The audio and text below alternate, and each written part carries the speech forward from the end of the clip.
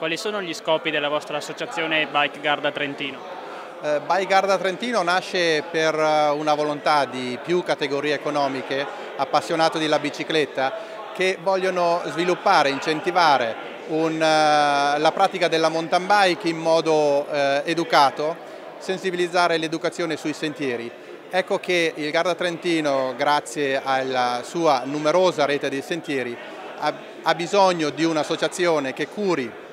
lo sviluppo la, e l'incentivo di questa, di questa pratica. Quanti soci conta al momento la vostra associazione? Eh, al momento abbiamo tre tipologie e tre modalità per farsi soci, abbiamo dei soci sfondatori che sono 20, in questo primo triennio sono il consiglio direttivo, abbiamo poi i soci onorari eh, e abbiamo i soci fan, fan che sono stati pensati e studiati per, chi, per il turista che fruisce il nostro territorio, quindi che può sostenere eh, la messa a punto dei nostri sentieri, eh, gli eventi che faremo sul territorio. Assessore, qual è il suo parere su questa iniziativa di questa associazione? Direi assolutamente eh, ottimo,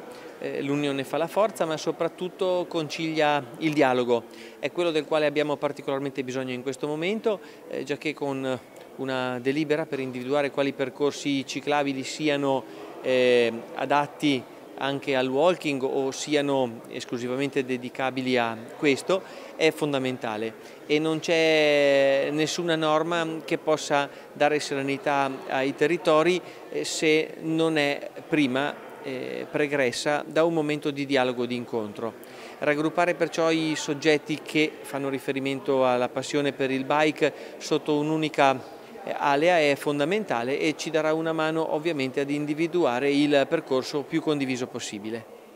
Le iniziative di questa associazione quali saranno in futuro? Allora abbiamo molte iniziative, vogliamo essere la voce univoca per le amministrazioni, per la comunità di Valle, la provincia e, e dare quel supporto tecnico a costo zero fatto da esperti, specialisti del settore per indicare alle amministrazioni come deve essere mantenuto un sentiero piuttosto che traccia aprire e riuscire così ad avere una convivenza ehm, fra chi fruisce la montagna a piedi e chi fruisce con la bicicletta. Molte sono altre le funzioni che vorremmo fare, per esempio degli eventi per stimolare anche chi usufruisce del nostro territorio a contribuire nel, nella manutenzione dei sentieri e mm, anche una, una, rete fra tutte le varie associazioni già presenti che hanno ben operato per eh, condividere con loro questa straordinaria disciplina e per poter godere questo magnifico territorio che abbiamo del Garda Trentino.